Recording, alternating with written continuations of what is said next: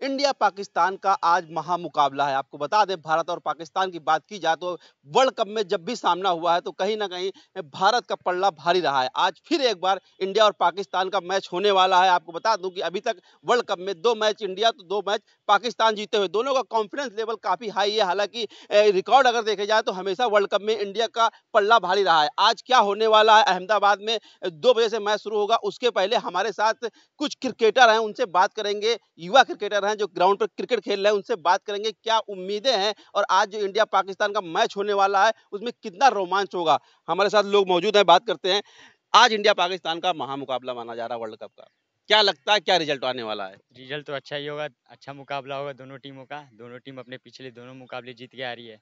अहमदाबाद का विकेट भी अच्छा है मतलब रन बनाने वाला स्कोरिंग विकेट है।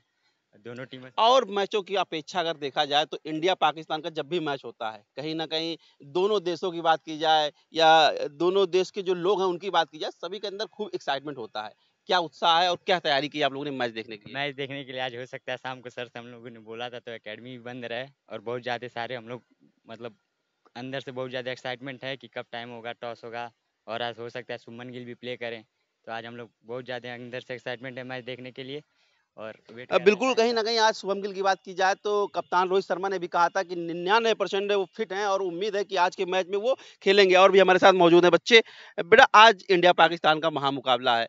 क्या लगता है कौन सी टीम कितना किस पर भारी रहेगी? इंडिया हमेशा पाकिस्तान पे भारी रही और भारी रहेगी और इंडिया ही जीतेगी आज का भी मैच।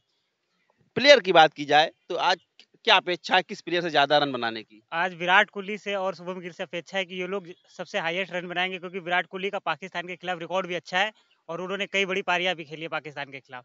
रोहित शर्मा की बात की जाए तो पिछले मैच में जिस प्रकार से उन्होंने बैटिंग के शतक लगाया क्या लगता है आज कैसा परफॉर्मेंस रहेगा वो भी अच्छा ही परफॉर्म करेंगे क्योंकि उन्होंने पिछले मैच का कॉन्फिडेंस भी लेके आ रहे हैं तो इस मैच में भी अच्छा ही करेंगे वो भी।